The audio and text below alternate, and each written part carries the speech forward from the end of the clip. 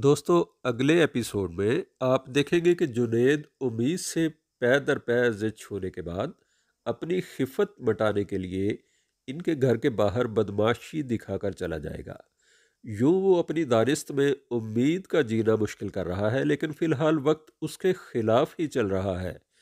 एक तरफ़ यासर है, जिसे अपने बेटे जुनेद पर फ़ख्र है कि वो कोई गलत काम नहीं करता तो दूसरी तरफ़ सरमद है जिसे अपनी बेटी उम्मीद की तरबियत पर भरोसा है। उधर कुछ लोग, जैसे नीलम, सरमद की माँ आलिया और उसकी बहन सवेरा माजी को लेकर दिन रात कोयला होते जा रहे हैं तो सवेरा की बेटी फरहान को सारा के साथ दोस्ती करता देखकर जल बुन जाएगी। तो दोस्तों, हम उम्मीद करते हैं कि आपको हमारी ये वीडियो भी पसंद आई होगी तो इसको लाइक कीजिए और हमारे चैनल को सब्सक्राइब कीजिए। शुक्रिया, अल्लाह हाफिज़।